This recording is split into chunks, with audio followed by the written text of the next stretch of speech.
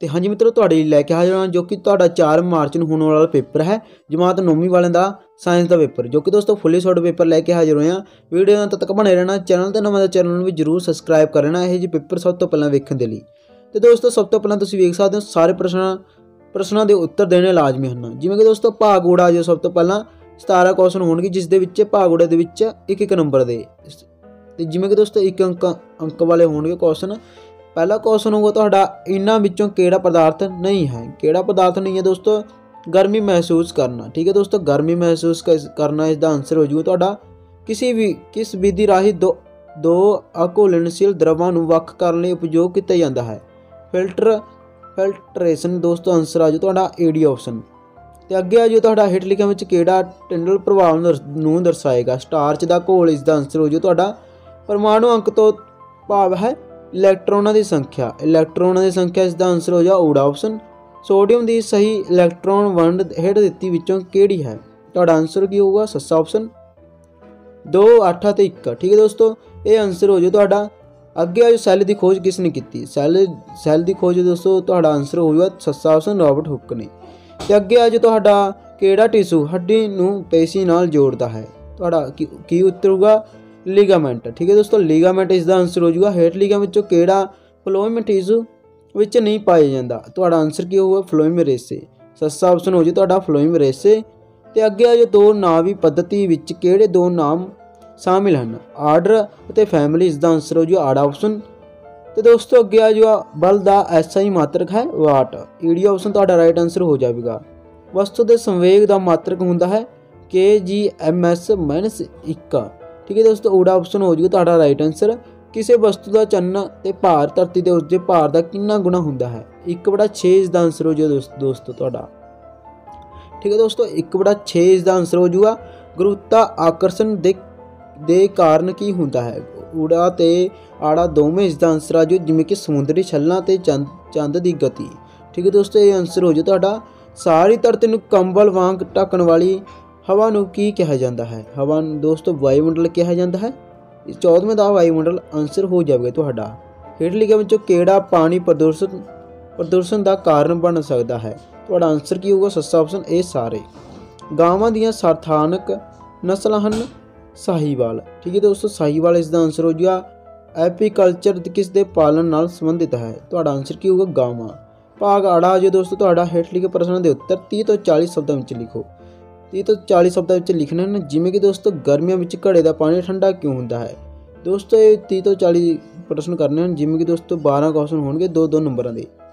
ਠੀਕ ਹੈ ਦੋਸਤੋ 24 ਅੰਕ ਤੁਹਾਡੇ ਇਸ ਦੇ ਬਣ ਜਾਣਗੇ, ਜਿਵੇਂ ਕਿ ਪ੍ਰਸ਼ਨ ਨੰਬਰ 18 ਹੋਊਗਾ, ਇਸ ਦਾ ਆਨਸਰ ਦੋਸਤੋ ਤੁਹਾਡਾ ਹੋ ਜਾਵੇਗਾ। ਜਿਵੇਂ ਕਿ ਦੋਸਤੋ ਕੁਐਸਚਨ ਸੀ ਕੁਐਸਚਨ ਸੀ ਤੁਹਾਡਾ, ਗਰਮੀਆਂ ਵਿੱਚ ਘੜੇ ਦਾ ਪਾਣੀ ਠੰਡਾ ਕਿਉਂ ਹੁੰਦਾ ਹੈ? ਮਿੱਟੀ ਦੇ ਬਣੇ ਘੜੇ ਵਿੱਚ ਛੋਟੇ ਛੋਟੇ ਛੇਕ ਹੁੰਦੇ ਹਨ, ਜਿਨ੍ਹਾਂ ਵਿੱਚੋਂ ਘੜੇ ਵਿੱਚ ਭਰਿਆ ਪਾਣੀ ਰਿਸ ਕੇ ਬਾਹਰ ਆ ਜਾਂਦਾ ਹੈ। ਵਾਤਾਵਰਣ ਦੀ ਗਰਮ ਹਵਾ ਦੇ ਸੰਪਰਕ ਵਿੱਚ ਆ ਕੇ ਬਾਸ਼ਪੀਕ੍ਰਿਤ ਹੋ ਜਾਂਦਾ ਹੈ। ਪਾਣੀ ਦੇ ਵਾਸ਼ਪ ਵਿੱਚ ਬਦਲਣ ਲਈ ਲਈ ਲੋੜੀਂਦੀ ਤਾਪ ਊਰਜਾ ਘੜੇ ਦੇ ਅੰਦਰ ਵਾਲੇ ਪਾਣੀ ਤੋਂ ਪ੍ਰਾਪਤ ਹੁੰਦੀ ਹੈ। ਇਸ ਨਾਲ ਘੜੇ ਦੇ ਅੰਦਰ ਮੌਜੂਦ ਠੰਡਾ ਪਾਣੀ ਹੋ ਜਾਂਦਾ ਹੈ। ਠੀਕ ਹੈ ਦੋਸਤੋ, ਇਹ ਹੋ ਜੋ ਤੁਹਾਡਾ ਆਨਸਰ ਤੇ ਦੋਸਤੋ, ਅੱਗੇ ਹੋ ਜੋ ਤੁਹਾਡਾ ਪ੍ਰਸ਼ਨ ਨੰਬਰ 19 ਉਦਾਹਰਨ ਸਹਿਤ ਸਮੰਗੀ ਤੇ ਵਿਖਮੰਗੀ ਮਿਸ਼ਰਣਾਂ ਵਿੱਚ ਅੰਤਰ ਦੱਸੋ। ਇਹ ਹੋ ਜੋ ਦੋਸਤੋ ਤੁਹਾਡਾ ਕੁਐਸਚਨ ਦਾ ਆਨਸਰ ਜਿਸ ਤਰ੍ਹਾਂ ਕਿ ਦੋਸਤੋ ਤੁਸੀਂ ਵੇਖ ਸਕਦੇ ਹੋ, ਇਹ ਹੋ ਜੋ ਸਮੰਗੀ ਮਿਸ਼ਰਣ। ਇਸ ਘਟਕ ਇਸ ਦੇ ਘਟਕ ਵਿੱਚ ਸਮਾਨ ਵੰਡੇ ਹੁੰਦੇ ਹਨ। ਇਸ ਇਸ ਵਿੱਚ ਅੰਸ਼ਾਂ ਦੇ ਗੁਣ ਅਤੇ ਸੰਰਚਨਾ ਹਰ ਅਵਸਥਾ ਵਿੱਚ ਸਮਰੂਪ ਹੁੰਦੀ ਹੈ। ਉਦਾਹਰਨ, ਪਿੱਤਲ ਕਾਂਸਤ ਪਾਣੀ ਵਿੱਚ ਚੀਨੀ, ਅਲਕੋਹਲ ਵਿੱਚ ਪਾਣੀ, ਹਵਾ ਦੀ ਵਿਖਮੰਗੀ ਮਿਸ਼ਰਣ। ਇਸ ਦੇ ਘਟਕ ਵਿੱਚ ਸਮਾਨ ਰੂਪ ਵਿੱਚ ਵੰਡੇ ਨਹੀਂ ਹੁੰਦੇ। ਇਸ ਵਿੱਚ ਅੰਸ਼ਾਂ ਦੇ ਗੁਣ ਇੱਕ ਦੂਜੇ ਤੋਂ ਭਿੰਨ ਹੁੰਦੇ ਹਨ।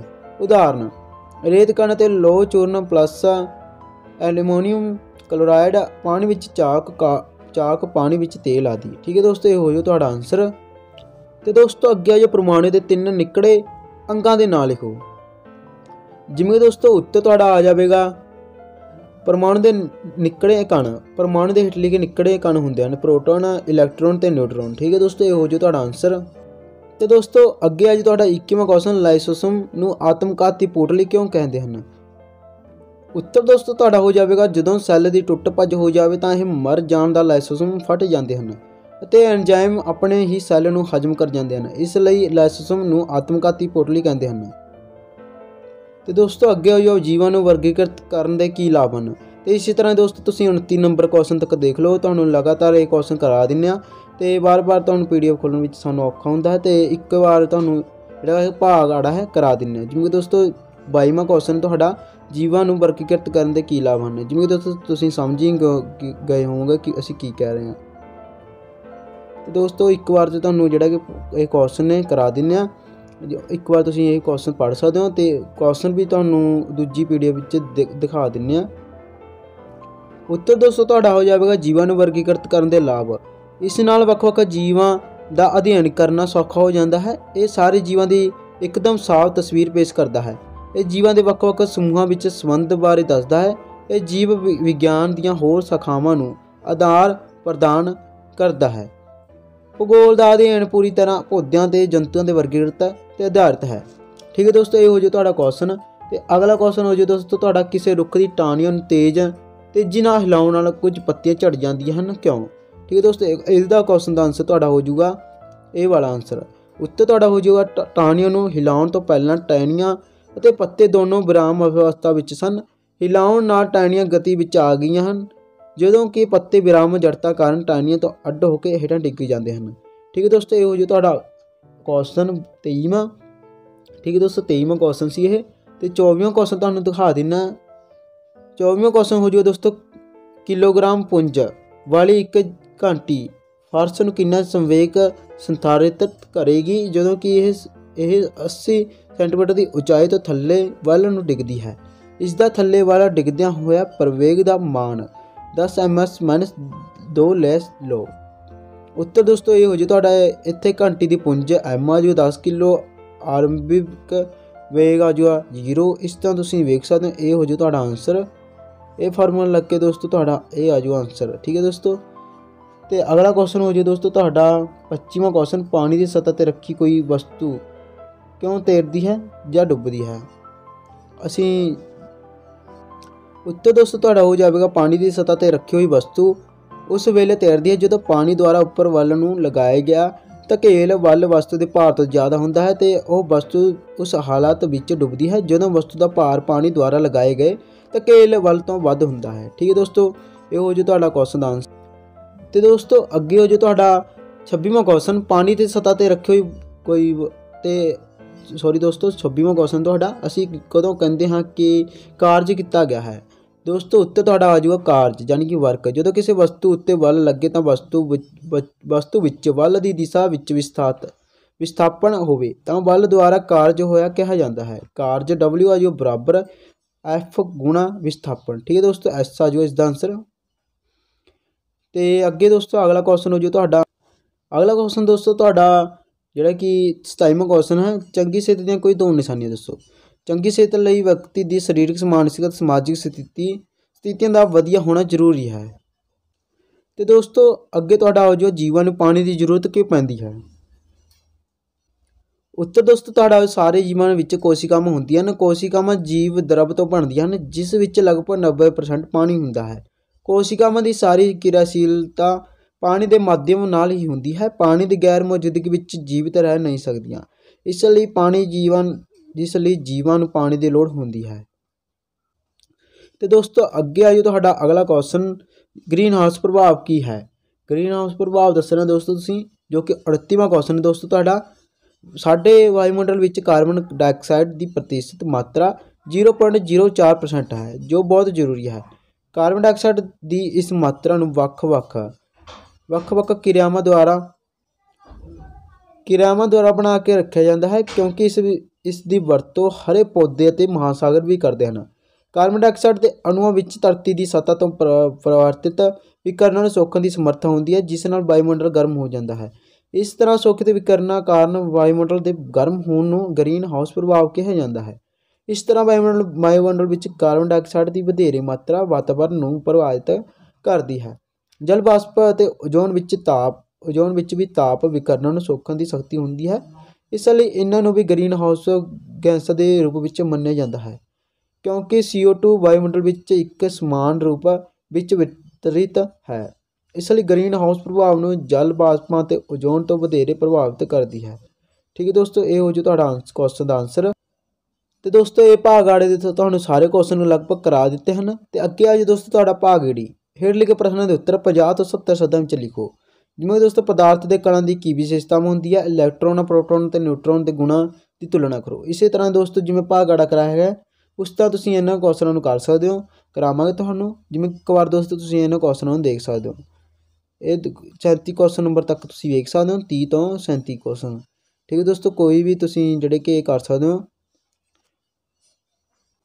ਜਿਵੇਂ ਕਿ ਦੋਸਤੋ, ਪਹਿਲਾ ਕੁਐਸਚਨ ਤੁਹਾਡਾ ਪਦਾਰਥ ਦੇ ਕਣਾਂ ਦੀ ਕੀ ਵਿਸ਼ੇਸ਼ਤਾਵਾਂ ਹੁੰਦੀਆਂ ਹਨ? ਤੁਹਾਡਾ ਉੱਤਰ ਦੋਸਤੋ ਆ ਜਾਵੇਗਾ। ਸਾਰੇ ਪਦਾਰਥ ਕਣਾਂ ਤੋਂ ਮਿਲਣ ਤੇ ਬਣਦੇ ਹਨ। ਸਾਰੇ ਪਦਾਰਥਾਂ ਦੇ ਕਣ ਬਹੁਤ ਛੋਟੇ ਹੁੰਦੇ ਹਨ। ਇੰਨੇ ਛੋਟੇ ਹੁੰਦੇ ਨੇ ਕਿ ਇਹਨਾਂ, ਉਹਨਾਂ ਦੇ ਛੋਟੇ ਆਕਾਰ ਦੀ ਅਸੀਂ ਕਲਪਨਾ ਵੀ ਨਹੀਂ ਕਰ ਸਕਦੇ। ਉਹਨਾਂ ਦੀਆਂ ਵਿਸ਼ੇਸ਼ਤਾਵਾਂ ਹੇਠ ਲਿਖੇ ਅਨੁਸਾਰ ਹਨ। ਪਦਾਰਥ ਦੇ ਕਣਾਂ ਵਿੱਚ ਖਾਲੀ ਥਾਵਾਂ ਹੁੰਦੀਆਂ ਹਨ। ਪਦਾਰਥ ਦੇ ਕਣ ਲਗਾਤਾਰ ਗਤੀ ਕਰਦੇ ਰਹਿੰਦੇ ਹਨ। ਉਹਨਾਂ ਵਿੱਚ ਗਤੀਜ ਊਰਜਾ ਹੁੰਦੀ ਹੈ। ਪਦਾਰਥ ਦੇ ਕਣ ਇੱਕ ਦੂਸਰੇ ਨੂੰ ਆਕਰਸ਼ਿਤ ਕਰਦੇ ਹਨ। ਇਹ ਆਕਰਸ਼ਣ ਬਲ ਵੱਖ-ਵੱਖ ਪਦਾਰਥਾਂ ਵਿੱਚ ਵੱਖ-ਵੱਖ ਹੁੰਦਾ ਹੈ। ਤਾਪਮਾਨ ਵਧਾਉਣ ਤੇ ਕਣਾਂ ਦੀ ਗਤੀ 'ਚ ਊਰਜਾ ਵੱਧ ਜਾਂਦੀ ਹੈ। ਠੀਕ ਹੈ ਦੋਸਤੋ, ਇਹ ਕਰ ਸਕਦੇ ਹੋ ਤੁਸੀਂ? ਤੇ ਦੋਸਤੋ, ਅੱਗੇ ਆ ਜੋ ਤੁਹਾਡਾ ਇਲੈਕਟ੍ਰੋਨ ਪ੍ਰੋਟੋਨ ਤੇ ਨਿਊਟਰੋਨ ਦੇ ਗੁਣਾਂ ਦੀ ਤੁਲਨਾ ਕਰੋ। ਇਹ ਹੋ ਜੇ ਦੋਸਤੋ ਗੁਣਾਂ ਦੀ ਤੁਲਨਾ।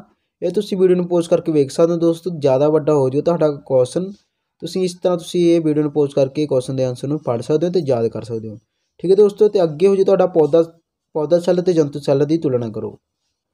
ਪੌਦਾ ਸੈੱਲ ਅਤੇ ਜੰਤੂ ਸੈੱਲ ਦੀ ਤੁਲਨਾ ਕਰਨੀ ਹੈ। ਜਿਵੇਂ ਕਿ ਦੋਸਤੋ, ਜੰਤੂ ਸੈੱਲ ਤੇ ਪੌਦਾ ਸੈੱਲ।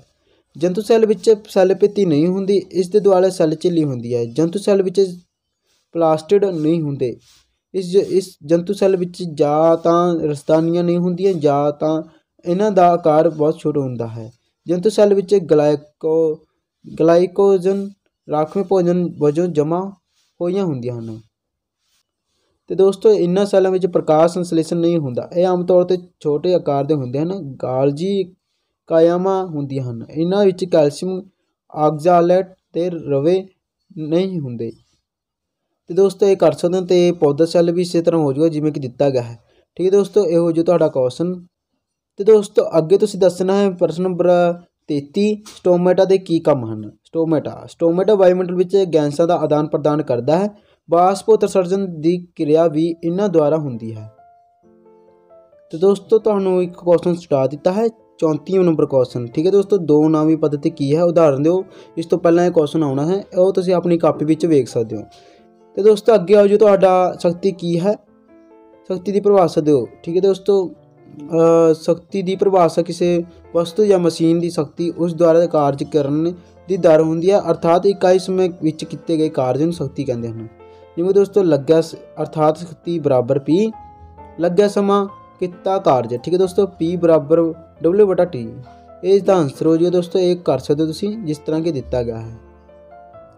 ਤੇ ਦੋਸਤੋ, ਅਗਲਾ ਕੁਐਸਚਨ ਹੋ ਜੀ ਤੁਹਾਡਾ, ਛੂਤ ਦੇ ਰੋਗਾਂ ਨੂੰ ਫੈਲਣ ਤੋਂ ਰੋਕਣ ਲਈ ਤੁਹਾਡੇ ਸਕੂਲ ਵਿੱਚ ਕਿਹੜੇ-ਕਿਹੜੀਆਂ ਸਾਵਧਾਨੀਆਂ ਜ਼ਰੂਰੀ ਹਨ? ਛੂਤ ਦੇ ਰੋਗਾਂ ਨੂੰ ਫੈਲਣ ਤੋਂ ਰੋਕਣ ਦੀਆਂ ਸਾਵਧਾਨੀਆਂ। ਵਿਦਿਆਰਥੀ ਨੂੰ ਸਾਫ਼ ਸੁਥਰੇ ਰਹਿਣਾ, ਰੋਜ਼ਾਨਾ ਨਹਾਉਣਾ, ਸਰੀਰਕ ਸਵੱਛਤਾ ਤੇ ਵਿਅਕਤੀਗਤ ਸਫ਼ਾਈ ਲਈ ਪ੍ਰੇਰਿਤ ਕਰਨਾ ਚਾਹੀਦਾ ਹੈ। ਸੰਤੁਲਿਤ ਤੇ ਪੌਸ਼ਟਿਕ ਆਹਾਰ ਲੈਣ ਦੀ ਸਿੱਖਿਆ ਦੇਣੀ ਚਾਹੀਦੀ ਹੈ ਤਾਂ ਕਿ ਉਹਨਾਂ ਦੇ ਸਰੀਰ ਦੀ ਕੁਦਰਤੀ ਪ੍ਰਤੀ ਰੱਖਿਆ, ਰੋਗ ਸੁਰੱਖਿਆ ਵਿੱਚ ਬਣੀ ਰਹੇ। ਮਲ, ਮੂਤਰ ਅਤੇ ਹੋਰ ਫਾਲਤੂ ਪਦਾਰਥਾਂ ਦਾ ਨਿਪਟਾਰਾ ਠੀਕ ਢੰਗ ਨਾਲ ਹੋਣਾ ਚਾਹੀਦਾ ਹੈ। ਖੁੱਲੀਆਂ ਥਾਵਾਂ ਤੇ ਮਲ ਤਿਆਗ ਤੇ ਪੂਰੀ ਤਰ੍ਹਾਂ ਰੋਕ ਹੋਣੀ ਚਾਹੀਦੀ ਹੈ। ਸੀਵਰੇਜ ਵਿਵਸਥਾ ਬਹੁਤ ਵਧੀਆ ਹੋਣੀ ਚਾਹੀਦੀ ਹੈ। ਸਕੂਲ ਦੀ ਕੈਂਟੀਨ ਵਿੱਚ ਕੱਟੇ ਹੋਏ ਫਲ ਬਿਨਾਂ ਟਾਕੀ ਖਾਦ ਸਮਗਰੀ ਖਾਦ ਤੋਂ, ਖਾਦ ਤੇ ਰੋਕ ਹੋਣੀ ਚਾਹੀਦੀ ਹੈ। ਠੀਕ ਹੈ ਦੋਸਤੋ, ਇਹ ਕਰ ਸਕਦੇ ਹੋ ਕੁਐਸਚਨ ਆਨਸਰ ਤੁਹਾਡਾ। ਤੇ ਦੋਸਤੋ, ਅੱਗੇ ਹੋ ਜੀ ਤੁਹਾਡਾ 37 ਨੰਬਰ ਕੁਐਸਚਨ ਭੰਡਾਰ ਘਰਾਂ ਜਾਨੀ ਕਿ ਗੋਦਾਮਾਂ ਵਿੱਚ ਅਨਾਜ ਦੀ ਹਾਨੀ ਕਿਵੇਂ ਹੁੰਦੀ ਹੈ? ਭੰਡਾਰ ਘਰਾਂ ਵਿੱਚ ਅਨਾਜ ਦੀ ਹਾਨੀ ਦੋ ਤਰੀਕਿਆਂ ਨਾਲ ਹੁੰਦੀ ਹੈ। ਜੈਵਿਕ ਕਾਰਕ ਅਤੇ ਅਜੈਵਿਕ ਕਾਰਕ। ਜੈਵਿਕ ਕਾਰਕ ਜੈਵਿਕ ਆਧਾਰ ਤੇ ਕੀਟ ਉੱਲੀਆਂ, ਚਿਚੜੀ ਅਤੇ ਜੀਵਾਣੂ ਫੈਲਾ, ਫਸਲਾਂ ਦੀ ਗੁਣਵੱਤਾ ਨੂੰ ਖਰਾਬ ਕਰਦੇ ਹਨ ਅਤੇ ਉਹਨਾਂ ਦੇ ਭਾਅ ਨੂੰ ਘੱਟ ਕਰ ਦਿੰਦੇ ਹਨ। ਇਸ ਤਰ੍ਹਾਂ ਉਤਪਾਦ ਬੇਰੰਗਾ ਹੋ ਜਾਂਦਾ ਹੈ। ਇਹਨਾਂ ਵਿੱਚ ਪੁੰਗਰਨ ਦੀ ਸ਼ਕਤੀ ਘਟ ਜਾਂਦੀ ਹੈ।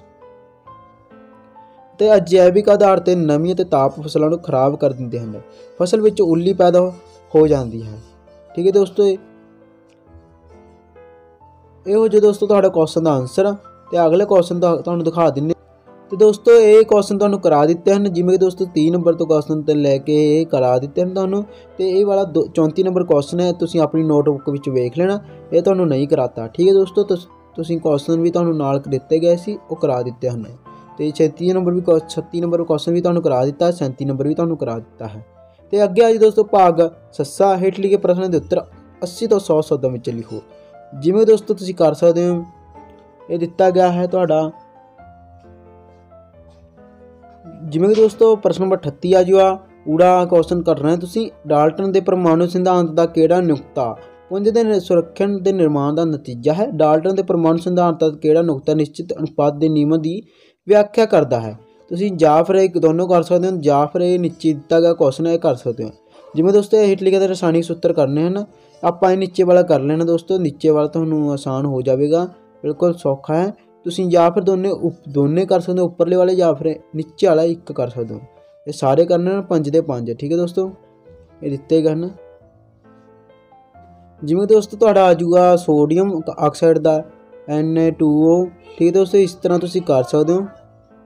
ਤੇ ਹੋ ਜਾਣਗੇ ਦੋਸਤੋ ਤੁਹਾਡੇ ਜਿਹੜੇ ਕੀ ਇਹ ਦਿੱਤੇ ਗਏ ਹਨ। ਇੱਕ ਵਾਰ ਤੁਸੀਂ ਦੋਸਤੋ ਆਪਣੀ ਨੋਟਬੁੱਕ ਵਿੱਚ ਵੀ ਦੇਖ ਲੈਣਾ ਕਿ ਇਹ ਸਹੀ ਹਨ। ਤੇ ਦੋਸਤੋ ਅੱਗੇ ਹੋ ਜੂ ਤੁਹਾਡਾ 39 ਨੰਬਰ ਕੁਐਸਚਨ ਇੱਕ ਵਸਤੂ ਦੁਆਰਾ ਤੈਅ ਕੀਤੀ ਗਈ ਦੂਰੀ ਕੀਤੀ ਗਈ, ਕਿ ਇਸ ਦਾ ਵਿਸਥਾਪਨ ਸਿਫਰ ਹੋ ਸਕਦਾ ਹੈ? ਜੇਕਰ ਹਾਂ, ਤਾਂ ਆਪਣੇ ਉੱਤਰ ਨੂੰ ਉੱਤਰ ਨੂੰ ਉਦਾਹਰਨ ਨਾਲ ਸਮਝਾਓ। ਚਾਲ ਅਤੇ ਵੇਗ ਵਿੱਚ ਅੰਤਰ ਦੱਸੋ। ਜਾਂ ਫਿਰ ਦੋਸਤੋ, ਤੁਸੀਂ ਕਰ ਸਕਦੇ ਹੋ ਸਵੇ ਚਾਲਿਤ ਵਾਹਨ ਦਾ ਓਡੋਮੀਟਰ ਕੀ ਮਾਪਦਾ ਹੈ? ਕਿਸੇ ਵਸਤੂ ਦੇ ਇੱਕ ਸਮਾਨ ਤੇ ਅਸਮਾਨ ਗਤੀ ਦੀ ਦੂਰੀ, ਸਮਾਂ ਗ੍ਰਾਫ ਦੀ ਦਿੱਖ ਕਿਹੋ ਜਿਹੀ ਹੁੰਦੀ ਹੈ? ਇਹ ਦੋਨੋਂ ਕੁਐਸਚਨ ਤੁਸੀਂ ਕਰ ਸਕਦੇ ਹੋ। ਜਾਂ ਫਿਰ ਦੋਸਤੋ, ਇਹ ਦੋਨੇ ਉੱਪਰਲੇ ਵਾਲੇ ਕਰ ਸਕਦੇ ਹੋ, ਜਾਂ ਫਿਰ ਦੋਨੋਂ ਇਹ ਨੀਚੇ ਵਾਲੇ ਕਰਨੇ ਹਨ ਠੀਕ ਹੈ ਦੋਸਤੋ ਆਪਾਂ ਦੋਸਤੋ ਦੋ ਉੱਪਰਲੇ ਵਾਲੇ ਕਰ ਲੈਣਾ ਦੋਨੋਂ, ਠੀਕ ਹੈ ਦੋਸਤੋ? ਉੱਪਰਲੇ ਵਾਲੇ ਕਰ ਲੈਣੇ ਆ। ਜਿਵੇਂ ਦੋਸਤੋ ਊੜਾ ਕੁਐਸਚਨ ਦੀ ਤੁਹਾਡਾ ਇੱਕ ਵਸਤੂ ਦੁਆਰਾ ਤੈ, ਕੁਝ ਤੈ, ਕੁਝ ਦੂਰੀ ਤੈਅ ਕੀਤੀ ਗਈ ਹੈ ਇਸ ਦਾ ਵਿਸਥਾਪਨ ਦੀ ਸਿਫਰ ਹੋ ਸਕਦਾ ਹੈ। ਜੇਕਰ ਹਾਂ ਤਾਂ ਆਪਣੇ ਉੱਤਰ ਨੂੰ ਉਦਾਹਰਨ ਨਾਲ ਸਮਝਾਓ। ਜਿਵੇਂ ਕਿ ਦੋਸਤੋ ਇੱਕ ਵਾਰ ਤੁਸੀਂ ਇਹ ਵੀਡੀਓ ਨੂੰ ਪੋਜ਼ ਕਰਕੇ ਜਾਂ ਫਿਰ ਵੀਡੀਓ ਨੂੰ ਸਲੋ ਕਰਕੇ ਇਸ ਕੁਐਸਚਨ ਦੇ ਆਨਸਰ ਤੁਸੀਂ ਪੜ੍ਹ ਸਕਦੇ ਹੋ। ਪਰ ਜਲਦੀ ਤੋਂ ਜਲਦੀ ਇਸ ਕੁਐਸਚਨ ਦੇ ਆਨਸਰ ਨੂੰ ਕਰਾਉਣ ਵਿੱਚ ਜਿਹੜੇ ਕਰਾਵਾਂਗੇ ਤੁਹਾਨੂੰ, ਜਿਵੇਂ ਕਿ ਇਹ ਹੋਵੇ, ਹੋ ਜਾਊਗਾ ਤੁਹਾਡਾ 120 ਕਿਲੋਮੀਟਰ। ਠੀਕ ਹੈ ਦੋਸਤੋ? ਤੇ ਆੜਾ ਕੁਐਸਚਨ ਹੋ ਜੀ ਤੁਹਾਡਾ, ਚਾਲ ਅਤੇ ਵੇਗ ਵਿੱਚ ਅੰਤਰ ਦੱਸੋ। ਚਾਲ ਅਤੇ ਵੇਗ ਵਿੱਚ ਦੋਸਤੋ ਇਸ ਤਰ੍ਹਾਂ ਹੋ ਜੂ ਤੁਹਾਡਾ, ਜਿਵੇਂ ਦੋਸਤੋ ਚਾਲ ਇਕਾਈ ਸਮੇਂ ਵਿੱਚ ਤੈਅ ਕੀਤੀ ਗਈ ਤੈਅ ਕੀਤੀ ਗਈ ਦੂਰੀ ਵਸਤੂ ਦੀ ਚਾਲ ਖਵਾਉਂਦੀ ਹੈ। ਇਸੇ ਤਰ੍ਹਾਂ ਹੀ ਦੋਸਤੋ ਵੇਗ ਕਰ ਲੈਣਾ ਤੁਸੀਂ। ਠੀਕ ਹੈ ਦੋਸਤੋ?